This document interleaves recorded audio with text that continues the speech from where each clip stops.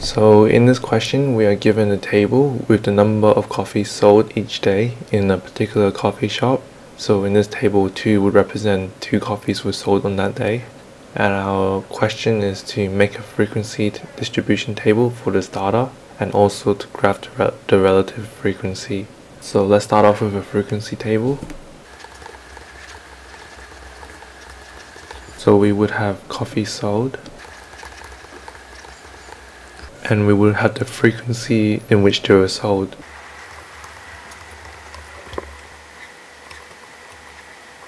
So from our table you can see that our lowest coffee sold on one day is 0 and our highest sold on one day is 8. So on this axis we will put 0 to 8 for the number of coffees sold.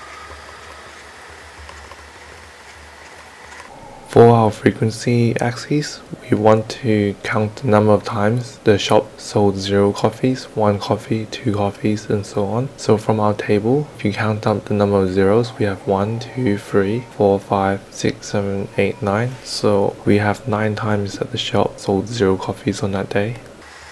And for 1, we have 1, 2, 3, 4, 5, 6, 7, 8. So 8 times the coffee sold 1 coffee on that day and if you keep counting them all up you would get 4 4 2 1 1 1 1 so if you add up all the frequencies we actually have 31 data sets. And this is important to know for calculating the relative frequency in our next part of the question. So this was part A. For part B we want the relative frequency. So I'll call relative this capital R and frequency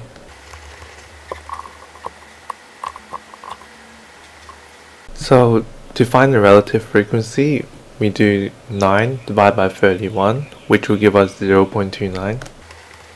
Likewise, for the number 8, we do 8 divided by 31, gives us 0.26.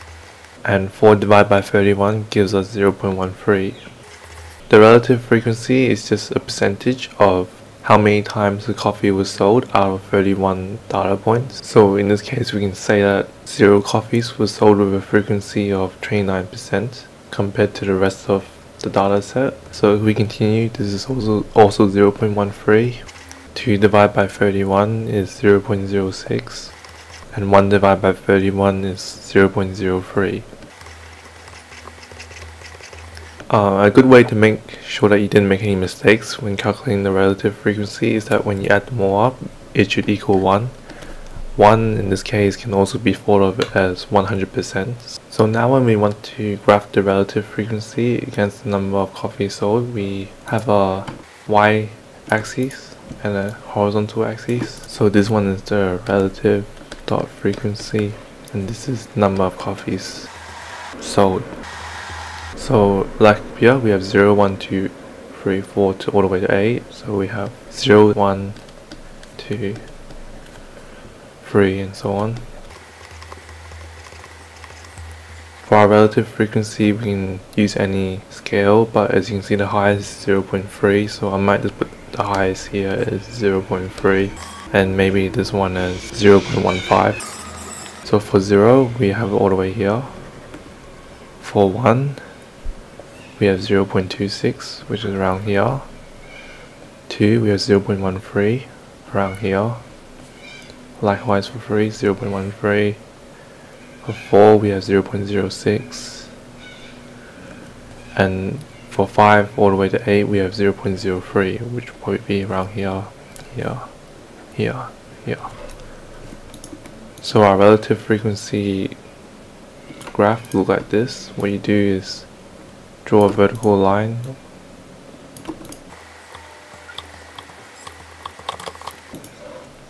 So what we can say about our, relative frequency diagram is that it is decreasing with the number of coffees sold and it's got a long right tail and also it's not, not symmetric. We'll learn about why this is important in later lessons but just for this tutorial you now know how to draw a frequency distribution table and a relative frequency graph.